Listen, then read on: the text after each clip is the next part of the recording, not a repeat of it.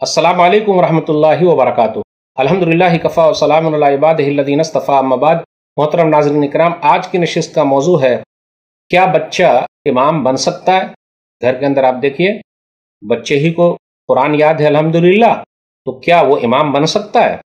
آئیے ایک حدیث میں آپ کے سامنے پڑھتا ہوں سرنبی داود کتاب الصلاح، حدیث نمبر پانچ سو پچاسی۔ فائیو ایٹ فائیو امر بن سلمہ رضی اللہ تعالیٰ بیان فرماتے ہیں وکن تو غلام حافظ میں حافظ صاحب غلام تھا، بچہ تھا۔ اور میں اس جگہ رہتا تھا، ہمارا قبیلہ اس جگہ رہتا تھا جہاں سے قبیلے گزر کر نبی صلی اللہ علیہ وسلم کے پاس جاتے تھے۔ تو قبیلے جب واپس آتے، تو ہمارے پاس سے گزر کر جاتے۔ تو ایک مرتبہ ایسے واپس آئے، تو میں ان سے سیکھ لیا کرتا تھا۔ ایک مرتبہ وہ لوگ واپس آئے، کیا ہوا؟ کہ لوگوں نے فقط دمونی مجھے ہی نماز پڑھانے کے لیے آگے بڑھا دیا۔ کیونکہ اس وقت وہ حدیث ان لوگوں نے سکھائی تھی۔ وہ حدیث یہ ہے کہ نبی صلی اللہ علیہ وسلم فرمایا ام کم اقرا تم میں کا زیادہ جو قرآن کا پڑھنے والا وہی امامت کرے۔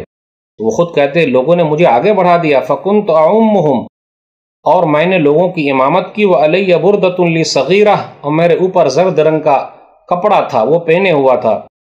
پھر وہ کہتے ہیں، جب میں سجدے میں چلا جاتا تو میرے کپڑے کھل جاتے۔ تو عورت نے کہا، وارو انا عورت قاری تم اپنے امام صاحب کے پچھلے حصے کو چھپاؤ، سطر کو چھپاؤ۔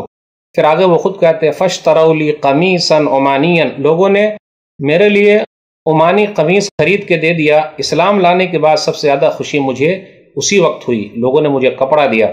وہ خود کہتے ہیں، جس وقت میں نے لوگوں کی امامت کی، اس وقت میری عمر سات سال یا آٹھ سال تھی۔ دیکھا آپ نے، سات سال یا آٹھ سال کا بچہ بھی امامت کر سکتا ہے، اگر اس کو قرآن زیادہ یاد ہے تو۔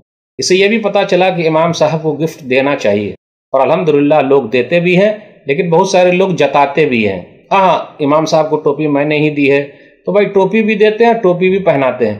اللہ ہم سب کو امام صاحب کی دیکھ بھال کرنے کی توفیق دامین والسلام علیکم ورحمۃ اللہ وبرکاتہ۔